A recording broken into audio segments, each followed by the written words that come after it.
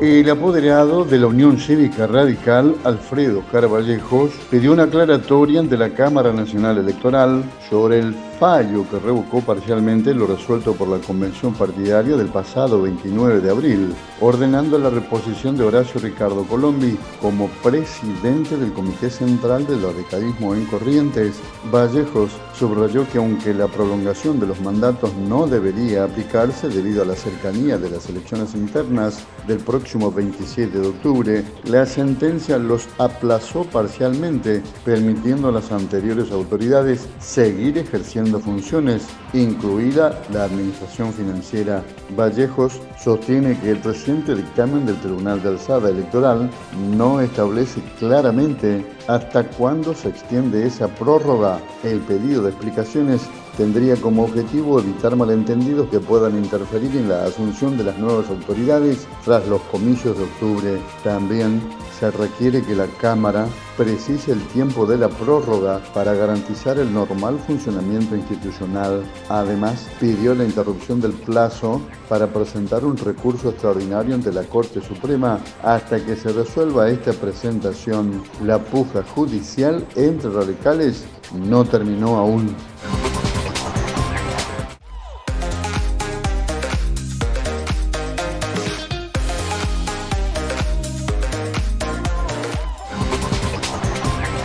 Una multitud se expresó frente al Congreso en defensa del financiamiento para las casas de altos estudios. La manifestación también se repitió en distintos puntos del país. Hubo acompañamiento de organizaciones políticas, sociales y sindicales. Es la segunda vez en el mandato de Javier Milei que se lleva adelante una marcha federal universitaria multitudinaria. Estudiantes, docentes, trabajadores universitarios reclamaron ante el Parlamento Nacional que los legisladores insistan con la ley de financiamiento para las universidades, la que será vetada en las próximas horas por el presidente Milei, según anticiparon desde el gobierno.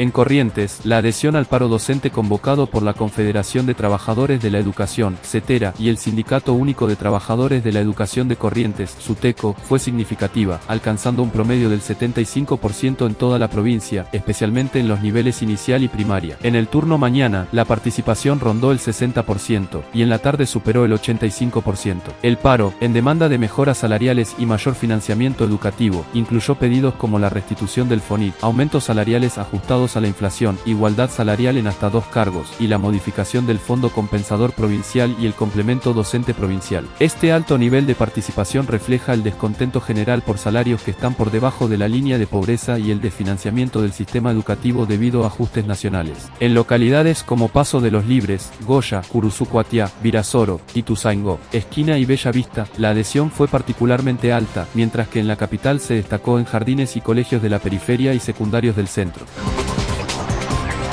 Tras la denuncia penal por corrupción contra el intendente de San Luis del Palmar, Néstor Buján, se advierte también en el escrito judicial información sobre las incompatibilidades de algunos funcionarios que armaron prácticamente un negocio familiar para aprovecharse de los dineros públicos. En uno de ellos aparece el concejal Daniel Emilio Rodríguez, que por intermedio de su hermano, el secretario de Hacienda Rosendo Rodríguez, le alquila un inmueble de su propiedad a la comuna, ubicado por calle Bella Vista entre Avenida Rivadavia y Juan Romero. En el predio funciona actualmente la Oficina de Servicios Públicos Municipales. La operación inmobiliaria, prohibida por la Carta Orgánica, tiene la anuencia del jefe comunal. Asimismo, el tesorero del municipio, Juan Marcel Fías, le alquila a la municipalidad un inmueble citado por Ruta Provincial 4 calle Misiones entre Sarmiento y 25 de Mayo, que es utilizado como galpón para maquinarias y la fabricación de adoquines, tubos, postes y entre otros elementos que se resguardan en el lugar, se advierte una posible y aceitada asociación ilícita, tanto que el secretario de Obras Públicas, Manuel Orlando Canteros, también le alquila a la comuna administrada por Buján un inmueble por calle Amarilla y avenida Rivadavia, que es usado como oficina de primera infancia y dirección de educación municipal.